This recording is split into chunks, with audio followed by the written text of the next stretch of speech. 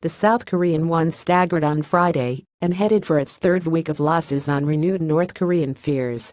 The South Korean won staggered on Friday and headed for its third week of losses on renewed North Korean fears, while the Indian rupee fell to a five-month low on concerns the government may need to borrow more to boost growth.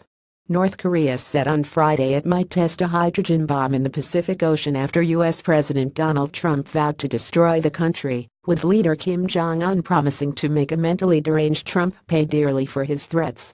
The won slipped for a second straight session to its lowest in a month, while most other emerging Asian currencies were mixed. We're too used to the North bluffing, said Jong-in Kim, an FX trader at Kookmin Bank. Nuclear weapon is NK's only bargaining chip right now. They want the image that they are at par with the US, military-wise. The won will be affected by the headline yes, but we need more than that. He added. Among other Asian currencies, the Indonesian rupiah hit over two-week low, while the peso appreciated as much as 0.4% and was on track to post gains on the week. As expected, the Philippine Central Bank held its key interest rate steady on Thursday, predicting inflation will remain within its comfort range this year and next.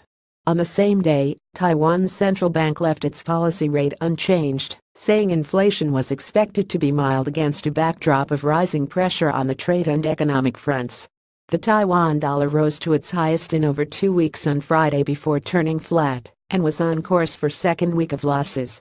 The yuan firmed as much as 0.3%, but paired gains and was flat as of 0330 GMT. S&P Global Ratings said China's deleveraging process will be much more gradual than expected in the next few years, a day after it downgraded the country's sovereign credit rating. RBI should not allow rupee to appreciate Shankaracharya Bitcoin rupee swap dives, but investors on FAST exporters worry over the rupee's latest move. Rupees rise to cheer close with dollar loans rupee softens against dollar, closes at 64.12.